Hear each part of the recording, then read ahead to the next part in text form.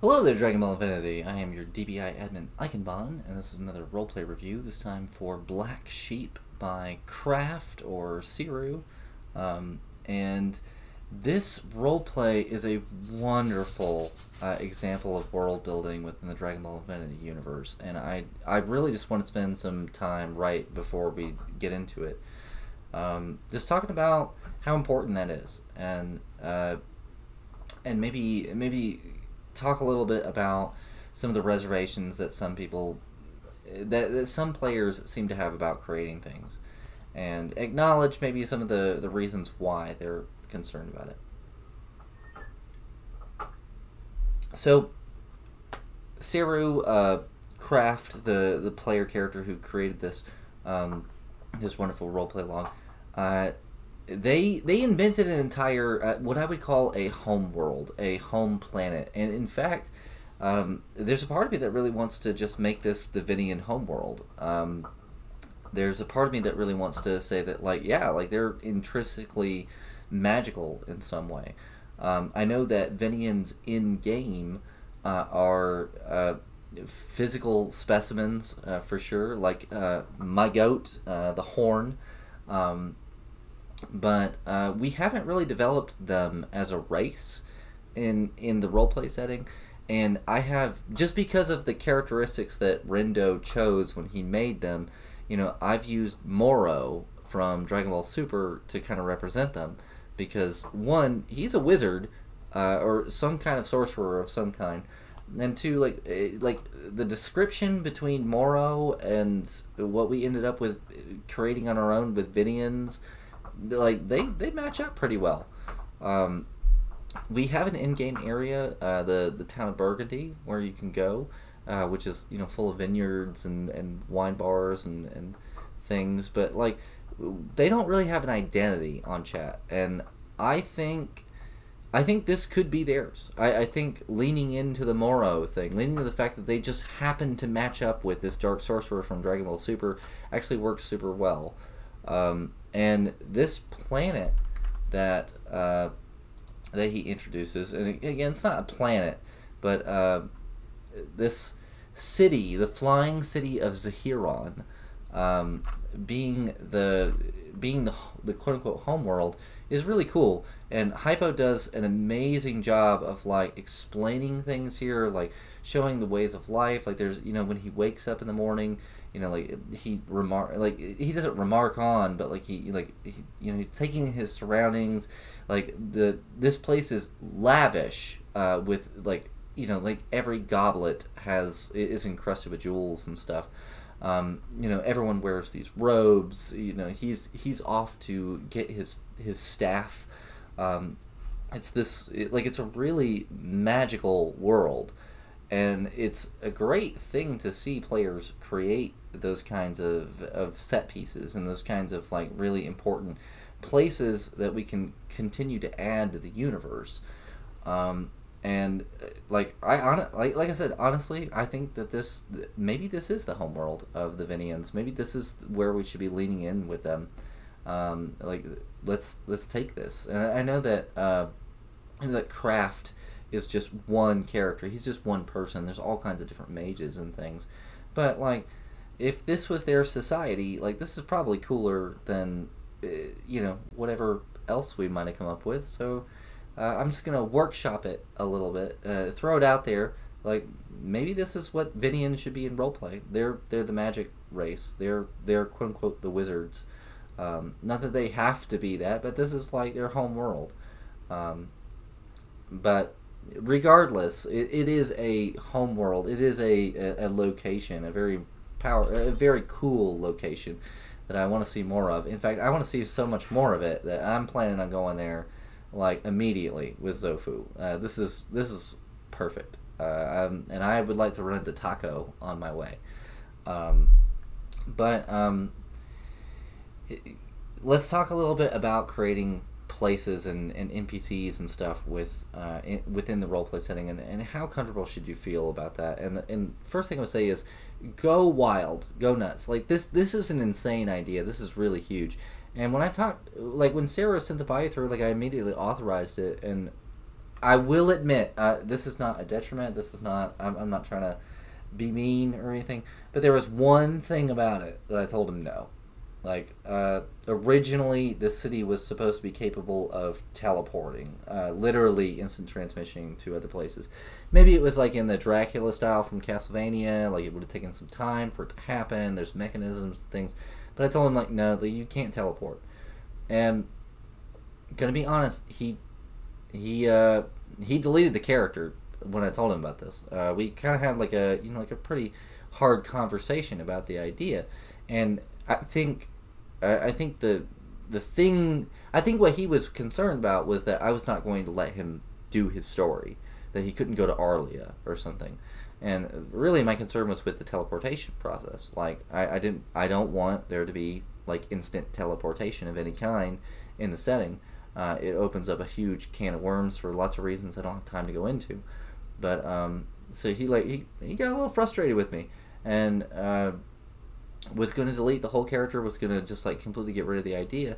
And I'm glad that he didn't. I'm glad that he stuck with it. I'm glad that we could talk through that because um, genuinely, genuinely, uh, if you come to the to the administrators and you have like a, a world or an NPC or something, like we we want to work with you. We want to give you. There's just there's a few things that's like yeah, like we're gonna absolutely say no to this, um, like the teleportation thing. Like we're like I have no problem that you go into Arlia. I have no problem with this city being a flying city that can like full of mages and all kinds of stuff. But the teleporting is too far. And it's like so whenever you whenever you approach world building within Dragon Ball Infinity, if there are gaps, if there are things that are missing, or something that you want to insert somewhere, um, always talk to us. We will be happy to help you work out your idea. Uh, just also understand that ultimately we're the final arbiter. Uh, like ultimately, there there will be times where we're just going to tell you like flat out no, like you can't do that, no, and you have to be willing and able to accept that. That doesn't like, but I I don't think there's ever been an instance where we have literally just like not been able to work with someone or not been able to take their idea and like find some way to insert it. It's just that uh, like every now and then like you guys come up with some crazy stuff and like we have to say no to certain things. Um, so be willing to take uh, take our counsel in mind and to accept that sometimes we're just going to tell you no, but overall you should feel free to create things like this. Like this is basically an entire planet. This is um, you know again an, a home world, and it's really cool. And I'm I'm glad that it's in the setting. I'm glad that it exists now. Um, it's a destination that I, I, as a person, want to go to with one of my characters. Like, this is exactly what I was waiting for.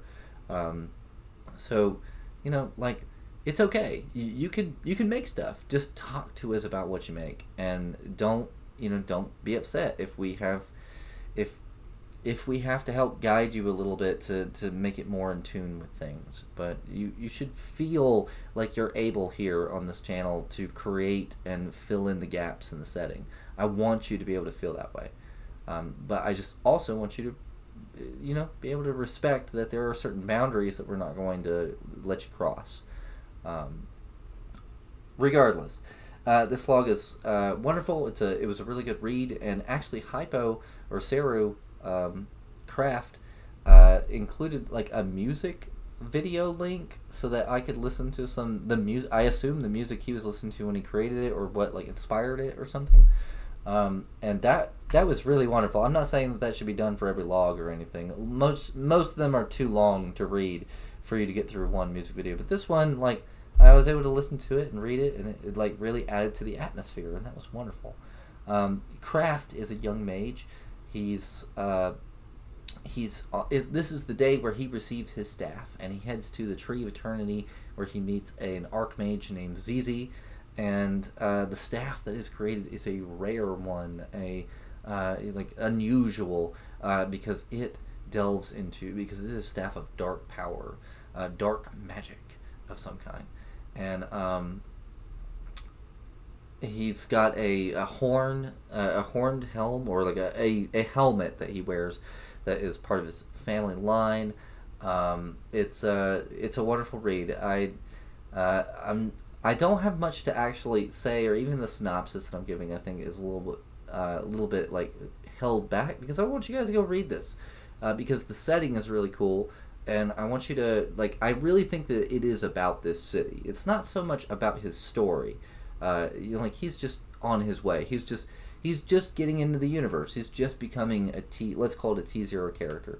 He just became T zero by getting this staff, and so. Um, but the setting is really the the what is what we're here for. What what we're here to learn a little bit about, and we do learn things about craft. Don't get me wrong. I don't, I don't want the video to come across as saying that like the character didn't matter or something. Um, it adds to it, but we're we're viewing this world from his lens, from like his eyes, whether it's the the Djinn or the you know the magical being that has been bound to his family for a long time, whether it's the you know the wonderful city, whether it's the the history of this place. You know, like we're we're kind of getting to know um, Zahiron uh, through this. Um, if I do have one critique, uh, one small critique about this, uh, and this is really hard. I like. I want to fully acknowledge that it is very difficult to avoid things like this. Uh, this is not like a. This is not an attack. This is not saying that it was done badly, but uh, there is a sentence early on here where he is describing the decor of his living room and um, let me just make sure I find it. Zahiron was but a compilation of Middle Eastern mythology, best described as the scene of 1001 Nights, eternally set in stone, even crafts humble apartment apartments constructed of white stone marble and comp- complemented by various linen crafts. Okay, so here's my one issue with this. Uh, and I know, again, fully acknowledging this is very hard not to do. But when you're saying Middle Eastern mythology, like, that's a sentence that is meant for the audience, for the reader. Uh, that is, like, hearkening us to imagine what is here in our real world. And, uh, you know, when you talk about the scene of 1001 Nights, you know, that's a book from our real world. Uh, those don't exist in Dragon Ball Infinity. There, there is no Middle East in in the Dragon Ball world, right? Like, there's no 1001 Nights necessarily. There might be something similar, but it, that specifically doesn't exist. And so, like, these kinds of sentences are really bad on the channel for the reason that, like, there's no reason this character should be alluding to it. Um, you know, if you should be able to describe the decor in a way that doesn't need to be accented by it's Middle Eastern or that it looks like what you would expect from 1001 Nights. Like, if you can't describe it, then uh, you're not like you're not role playing the character and you're not even role playing the setting. Like you're you're using everyone's like catalog of information to uh, to try to fill in the gaps a little bit, and that means that you haven't thought about your thought about what you're doing as much as maybe you should.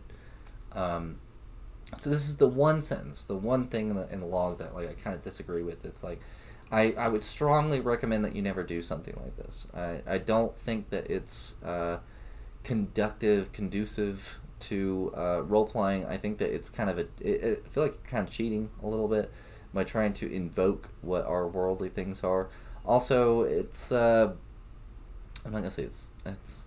Um, you're you're actually relying very strongly on stereotype uh, by by doing this. Uh, you are trying to invoke an image of the Middle East like that's just one location, like Agrabah and uh, from Disney's Aladdin is the Middle East.